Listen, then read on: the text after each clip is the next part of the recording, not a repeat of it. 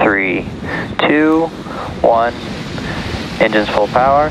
And liftoff of Viasat 3. Go Viasat, go Falcon Heavy. 火焰光芒点亮夜空，SpaceX 猎鹰重型运载火箭，美国时间周日晚上将三枚卫星成功送上太空。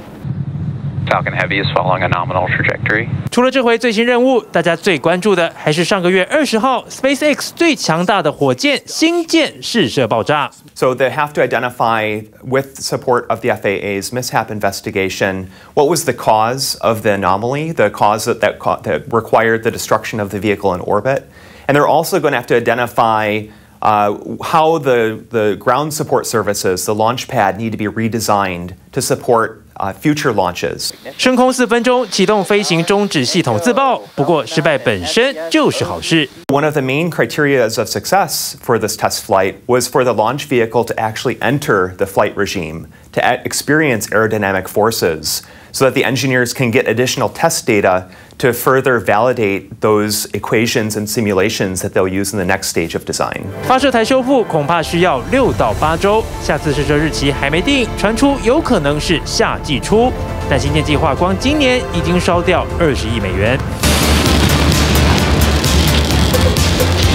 从二零二零测试型试射。 到二零二一一个月连两次爆炸。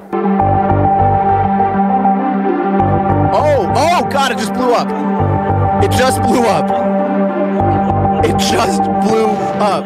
马斯克为什么全力以赴冲刺星舰开发？If all that life is about is solving problems, why bother getting up in the morning? There have to be things that inspire you to, you know, that that make you proud to be a member of humanity. 新建终极目标就是载人送上火星。And SpaceX says it could send as many as 100 human passengers to Mars. 马斯克对火星情有独钟，从 SpaceX 今年四月宣传片就很清楚。模拟动画看到玻璃罩穹顶，打开舱门，眼前火星已经变都市的样貌。I think it's important for the long term.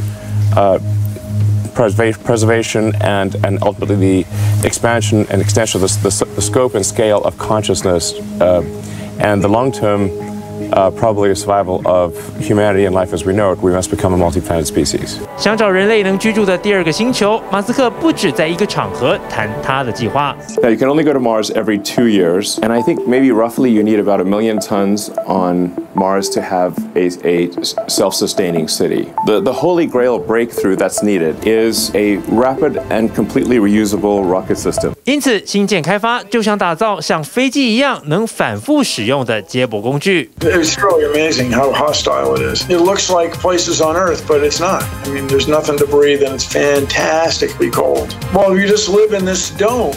Okay, then we're going to go outside. What are you going to do? You're going to put on a spacesuit to go outside, which is just another dome. 马斯克曾经说过，希望二零二六新舰能够试射成功，但就算抵达火星，挑战还很多。Honestly, a bunch of people probably will die in the beginning. It's yeah.